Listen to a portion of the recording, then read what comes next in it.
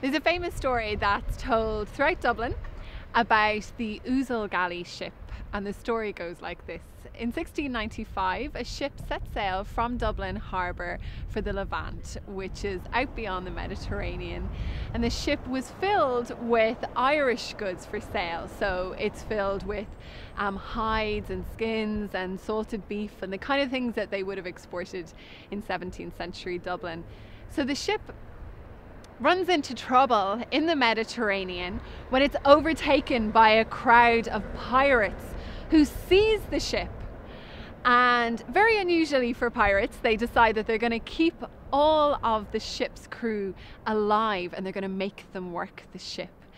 Now, back in Dublin, they don't know what's happened to the ship. The ship doesn't return, and the ship owners are very concerned. So they decide that the ship is lost and after several years, they put in for the insurance on the ship, which is paid out. And all of a sudden, uh, a couple of years later, completely unexpected, the ship returns to Dublin. In the meantime, what's happened is that the men who were on board the ship and who had been working the ship on behalf of the pirates overpowered the pirates gained control once more of their ship and sailed it back to Dublin. And so it arrived off the Liffeys, and this shocks everybody because these men are believed to be dead and the ship is believed to be lost. And not only does it shock um, Ferris uh, Twigg and Cashew had owned the ship, but of course it shocks um, the relatives of these men, particularly their wives, many of whom had thought that their husbands were dead, had remarried and now had new children, or had had affairs and now had new children. There's a very popular expression in Dublin called oozler, and an oozler is a child who is believed to have to not be his father's or to not look like his father. And it comes out of this idea of the men of the Ouzel Galley returning to these new children. Um, this creates a huge problem though in Dublin because while you might think, well, these men return with the ship and the pirate bounty is theirs, the men who'd paid out in the insurance all of a sudden claim they own the ship, they own the pirate booty. The men who used to own the ship, Ferris, Twigg, and Cash, claim that they own the pirate booty.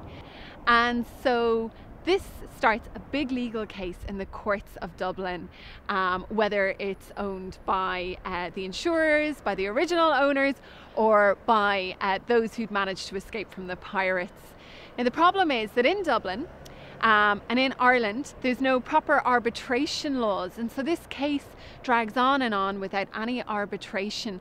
And it looks like very quickly it's going to suck up all of the money that would have been raised if these goods had been sold.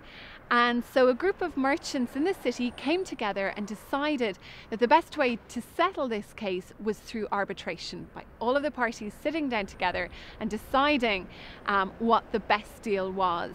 Um, they did this, and ultimately they they decided that the best thing to do was to sell the ship, to sell the pirate booty, and to give all of the proceeds to the poor of Dublin.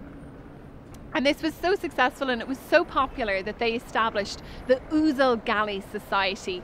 These merchants volunteer to um, give their um, arbitration skills and they charge a small fee and this fee is then given to the poor of Dublin and it becomes almost a charity. Um, this society becomes hugely popular. It lasts right up until the late 19th century.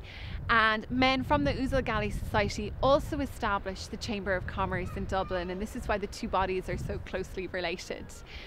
I've had a look into the Ouzel Galley Society as part of my research, and the earliest written record that I can find of the society existing dates to the 1740s.